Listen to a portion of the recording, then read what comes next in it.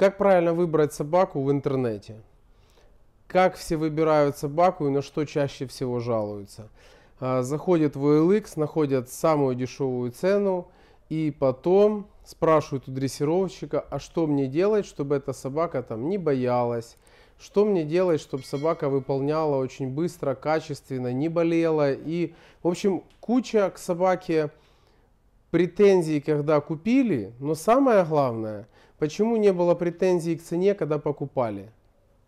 То есть, когда уже купили, у нее претензии, что она не выполняет что-то и не делает и не может, то потом приходят уже полечите, пожалуйста, ребята. Значит, как происходит этот выбор? В чем основная ошибка? Цена равно качество. Дешева рыба, погана юшка. Вот. Хотите, покупайте. Не хотите, не покупайте. Никто же никого не заставляет. А, просто вы наткнете, наткнете, вы наткнетесь на то, что когда вы купили собаку, а, генетические моменты вы не исправите. Болезни собаки вы не уберете, вам придется ее ездить лечить. Но за недорогую стоимость есть и хорошие качественные собаки.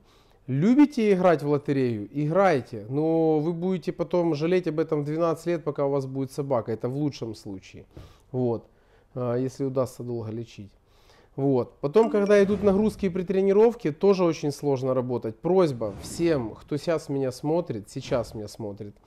Если вы берете собаку, сначала поставьте себе требования, которые вы хотите от собаки, а потом по этим требованиям приблизительно обзвоните не просто самых дешевых, а дорогих собак, среднего качества. И послушайте, как люди вам говорят о том, какие у них собаки, чтобы было с чем сравнивать.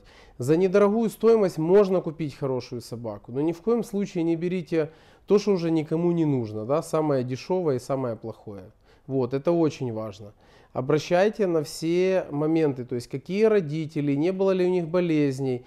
Узнайте у дрессировщика, кинолога или инструктора, кто занимался с этими родителями, пообщайтесь с ним, узнайте, какие успехи были у родителей. И тогда вы сможете купить хорошую, качественную собаку. Если есть какие-то другие моменты, как это сделать, напишите в комментариях. Это будет очень полезно почитать тем людям, которые смотрят нас и вы внесете что-то полезное своим же комментарием. Хороший совет. Если вы хотите купить Феррари, которая стоит 200 тысяч долларов, но у вас есть 40, мне кажется, у вас не получится купить Феррари. Но в принципе можно купить, но далеко на таком Феррари не уедешь. Она может быть похожа на, на Феррари. Наверное, какой-то Opel Astra переделали под Феррари, можно будет купить за 40 тысяч. Вот. Так что задумайтесь о выборе собаки, подойдите к этому правильно. И да пребудет с вами ясная голова и советы профессионалов.